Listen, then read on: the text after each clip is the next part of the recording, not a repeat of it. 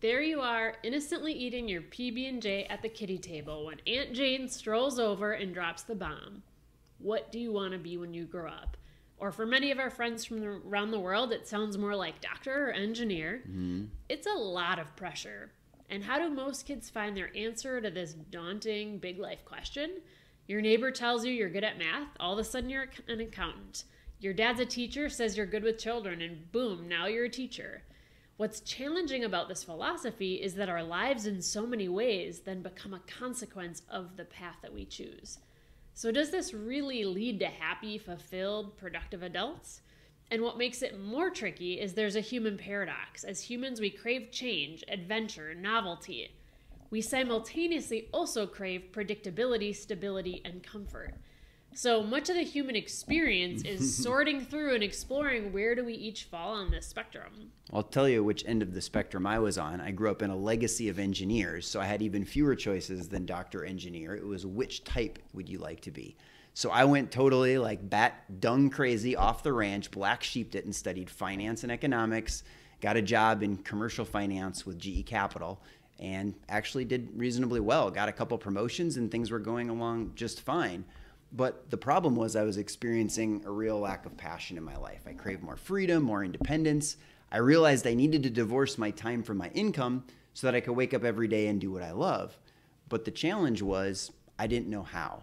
We call this the fulfillment gap. And I'm guessing that you or someone you love or know can relate to this, if not at one point, many points in your life. So the answer for me MBA school. Not really, because it was just more of the same, just learning how to be better at it right? And then I started to invest in real estate, investing in the stock market. But the challenge with those is not that I couldn't get in the game, it's that I couldn't scale them. So, what's a boy to do? I felt I was, by societal standards I was succeeding, but I still had no clear path to live a life that I was passionate about. And if we only get one shot at it, why would we want to do anything else? Well, and over on the other end of the spectrum, I was not uh, investing or doing real estate. You were not. Um, I studied women's studies and sociology. Was very free spirited and excited about most things. The voices in my head were a lot different. It was go find yourself, chase your passions, you know, go have fun. And after graduating, I did that. I went backpacking through Southeast Asia for a few months. Was debating: do I keep traveling? Do I take that massage course in Bangkok, or do I go to the Chicago Art Institute for photography? But due to my funds and bank account, none of these were actually real viable ideas, but I was energized around them all.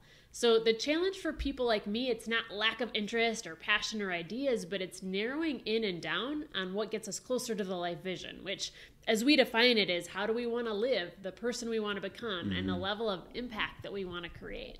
So in the end, you'd have been proud. I did choose the practical route. I came home, went into preschool teaching the pendulum swung hard because I had bills to pay.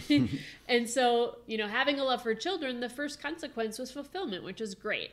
The second order consequence, though, was that I was making just above the poverty line, literally balling on a budget and still hardly able to pay my bills. So mm-hmm. it was that gut check that made me question the formula. Do I have to sacrifice my needs and my bigger ambitions to like help people and have significance? Does it have to be one or the other? And following traditional logic of getting a good job and living happily ever after, it definitely insinuates there's one magical path. Yeah. But that's not really the case for most people in reality. So, with that being said, we have to teach children and young people how to both analytically sort out their decisions and the long term effects of their decisions while still thinking and dreaming big. And because we know people can have more fluidity in their life and our decisions don't have to be so binary, particularly if you're willing to tweak that traditional formula. Well, fortunately for Carrie and I, we met some successful business owners early on in our career. They'd built a direct sales business on the side of their careers and were actually able to step away from their corporate jobs. That changed our life completely. We finally had real life examples, proof that it could be done, and we got a nurture, nurturing support and environment to help us move forward and exercise and build on our entrepreneurial tendencies since we clearly had no skills. Mm. So they helped us start a direct sales business because it was low cost and we could scale and keep our jobs. A lot of the other options we looked at simply didn't fit that bill. We built that business to about a million in revenue. Carrie stepped away from her uh, preschool teaching career in her 20s We continued to scale that while starting an educational company and scaled to a level that I was able to step away from my commercial banking career. That allowed us to open up our calendar and chase our passions. Since then, we've been able to do angel investing, write a book, co found a tech company, bought a lake house, launched a podcast, founded a nonprofit. We basically were able to be, create a lifestyle where we were full time parents and full time entrepreneurs. And we wish this lifestyle and choice for everyone. But if so many people have created it, or many have created it, what's holding you back? Why shouldn't you? We believe you should. And quite frankly, with all the macro changes in our economy, AI, cryptocurrency, the great resignation, we need to change how we're helping people and create better systems to support and nurture the entrepreneurial spirit. And we know side hustling itself is not a new idea, but we believe it should be ubiquitous, and we need to start providing a stronger framework to support it. We shouldn't be asking our neighbor if they have a side hustle, but what their side hustle is. We hear so much talk about people, I want to do this, I'm thinking about that, but then they never make a move. Well, the reality is there might be some exceptions out there. Not, but not that many of us are extremes like Elon Musk who are going to build multiple world-changing companies. Nor do we want to sit, you know, in the corporate job for the rest of our lives or the Zoom square or rectangle as it may be, right? So we need something in the middle. Couple examples: become a graphic designer or a CPA. But if you love athletics, coach on the side. If you get good at it, you can always move to that full time, right? Or maybe you want to chase your passions like Crazy Carrie over here, okay? And you've always wanted to start that ska band. Like, go for it. Build your band, travel the world, do it full time, but maybe on the evenings and weekends, you could actually learn computer programming because someday, if you did have a family, your children want to eat, you can support them. Look, the reasons to side hustle are vast. There are so many. Beyond just diversifying your income, you diversify your skills, you can use it to explore new passions and interests. You also get the financial education and the tax deductions that come with it. For some of us, that's begrudgingly. But the reality is, is those skills are something no one can ever take away from you, right? And the challenge, though, is if building a side hustle is so valuable, why aren't more people doing it or doing it well? Mm. Well, and there's a lot of misconceptions yes. and there's real roadblocks. So let's talk through some of those. First off, you don't have to be passionate to start a business. You do not. Just like you don't have to be passionate about your job, which many of you are not. Interest alone, it's enough if you're passionate about how it connects to your long long term vision. Um, you don't also need a novel, life changing idea or product to start a side hustle. You don't have to be an inventor. We certainly are not. Yeah. There are plenty of plug and play opportunities, existing systems you can access and play off of, such as a lower cost franchise, drop shipping, affiliate marketing, or consulting. Um, hustle culture is not necessarily synonymous with having a side hustle. Don't yeah. lose sight of what's important to you. Take care of the foundational areas of your life, but potentially swap some of the Netflix time or the mindless TikTok watching time and do something mm. more meaningful. You can do a lot in small pockets of time. Also, know that you're not starting at ground zero. We've established you're a baller, you're a big deal, you're a dynamic person, mm-hmm. you're more dynamic than your job title. You already have entrepreneurial tendencies and some transferable skills. They just need to be nurtured by the right people and in the right environment. And business ownership in itself is a skill. Just like you weren't always a nurse, you weren't always drawing blood or doing math or even identifying numbers. So, thinking fluid versus fixed. Also, you can love your job. You can go get those promotions like Craig did. We don't recommend quitting your job. That's why we're suggesting a side business approach. Lastly, you can start small and practical. Your first business mm. doesn't have to be your last. It wasn't for us. It rarely ever is. but most people just never take that first step because they've built a mountain of expectations on what they think it should look like. So maybe you're interested in starting a restaurant. Start a food cart first. Maybe do some yep. light catering. And after you've established yourself and you've tested your concept, you can then scale your commitment and investment. A fun example our daughter Eloise, she wants to start a veterinary clinic down the road. She's currently eight, so we suggested, hey, let's start a dog care business first. Hound Lover Services was born. she got her first client in March, and very sadly, our neighbor's dog passed away. But they did end up getting a new puppy, and she's back in business. And she's already preparing herself for the emotional roller coaster that is entrepreneurship. She's also gaining insight and experience on what the process looks like. So, how do we side hustle skillfully? Well, we believe there's an epidemic of people starting side hustles but not finishing them, right? So we have about 40,000 suggestions. Here's our top five. Okay, number one, you've got to define what finishing looks like. Okay, without a clear destination, you won't actually hit your mark. It's like a GPS. You can't just punch in south. Well, I just want to make some more extra money. That's not going to get you to a real goal if you haven't defined it, right? Number two, you got to develop the right mindset and life set. Okay. Well, mindset, many people have studied and heard of. It's very popular. There's a lot of great content to help you shift the way you think from being an employee to being a business owner. It's critical. However, how we apply the mindset and what manifests in our life is called our life set. Essentially, it's the proof of our mindset.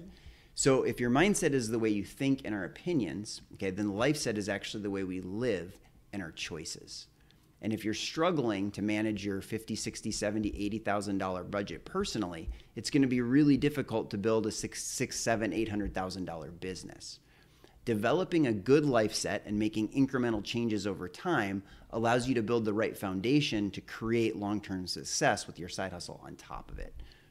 Number three, learn how to evaluate and leverage business systems, not just get excited about a random product, okay? We have spent, most of us, our entire lives being consumers and evaluating product. So many people come to us and say, Hey, I have this idea, I have this idea. Ideas are good, but if you can't scale the idea and automate it, it's not going to improve your lifestyle, right? Take, uh, for example, an Airbnb. You can definitely get it, get an Airbnb and do it all yourself, or you can leverage their platform and you can hire a company to do the marketing. You can hire someone to do all the cleaning you might make less money, but ultimately you'll have more time that you can then scale with. Number four, embrace experiential learning. A lot of us have deep, deep, proud roots in academia, mm-hmm. decades of textbooks and lectures, but you can't build a business just from memorizing data. At some point, you have to take action, embrace that you don't have it all figured out until you go do it. Mm-hmm a lot of people really suck at sucking, so you want to get good at this. For example, get in environments that are uncomfortable, where you're out learning how to public speak or network. You're getting some feedback and you're working on refining and making changes and going through the growing pains of growing your skill sets. Embracing that entrepreneurship is one of the best personal development arenas in the world and really leveraging that to your advantage. Number five, realize the people you surround yourself with will have more impact on your life than anything else. Your language, your income, your happiness, your religion, your fill in the blank. How is starting a business any different? It isn't. We recommend a paradigm shift the who before the what. Okay. And in that process, you might actually have to get out of your comfort zone and go seek people out, like a mentor or a coach, to empower you through the challenging times for us, having a mentor or coach made all the difference because they could see things many miles down the road. And when we did have a challenge, they didn't just say you should quit like a family member might. Realize the people who love us are not always qualified to empower us. So, how do we actually institute real change? We propose making this conversation you know part of the dialogue in homes having yeah. side hustles be part of the the convo. So first we have to keep encouraging kids to keep thinking big and creatively. As a former teacher and now parents of two kids hmm. i know there's ownership i can take that we can take as adults. Kids have bright fun entrepreneurial ideas. We sometimes inadvertently squelch them. So let's start nurturing and playing out those ideas Secondly, we have to start asking better questions, retiring tired questions like what do you want to be when you grow up and instead focus on things like what are what are your relationships or experiences that you value the most? What challenges do you have that you think you could come up with a solution for? Mm-hmm. How do you think you can make a positive impact on people or the planet? And make it fun. Get out the glue, the scissors, help your child create a vision board for themselves. Our four year old's Augustin, he has a lot of superheroes on his. He can evolve those ideas and concepts over time. But when your child shares an idea with you, great, you want to build robots, super cool. Mm-hmm. What do you think that would look like, feel like? What do you think would make that challenging, energizing? I'm maybe not your best resource, but let's go find some together that would actually help give you a better detailed picture of what building robots might look like. So instead of redirecting kids immediately to think traditionally, slapping a job title or industry label on them before they even know how to ride a bike, Let's help them start to develop some early analytics around their ideas. And in having entrepreneurial chatter be a bigger part of the conversation, we can help our kids create a more personally curated life vision that might include a possible side hustle someday. We also need to start asking better questions to our young adults as well. Instead of simply what college do you want to go to, what's your major going to be, your trade school, or what job you might get after high school, our question should sound more like how important is having lots of money, or traveling, or having free time? How do you want to live? What skills will you need, and who do you know who could maybe help you develop those skills or create some of the vision that you have? How can you start shadowing those people? Maybe look for an internship, a co op, or informational interview. And then consider starting a business project or a side hustle now while in school so that you ex- can have experiential learning to complement what you're learning in the classroom. Here's our proposal. We need to start weaving these types of questions and conversation into the curriculum at a high school level. This could be something as simple as a small workbook and a, and a couple one hour sessions with the school guidance counselor your junior year, or perhaps a two week seminar, a summer boot camp, or ultimately what we propose, a one year class. Can we really justify asking high schoolers to spend an entire semester oxidizing equations, memorizing the quadratic formula, and you know, memorizing other things that could just be found with a Google search? Rather than actually think about what type of work or business or life they want to create and maybe take those things, those industries, and go learn about them specifically?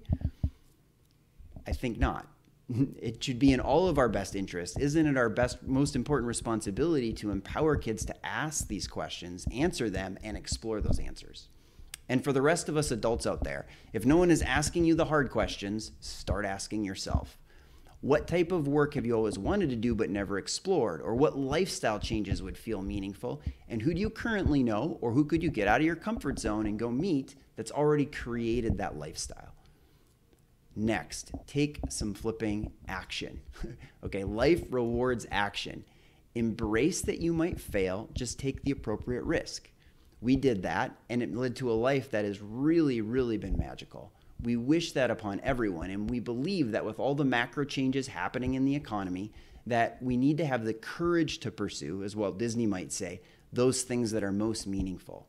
Because just as important as creating institutional change and nurturing the entrepreneurial spirit, we can best empower our children by being the example. And that, we believe, is an idea worth spreading.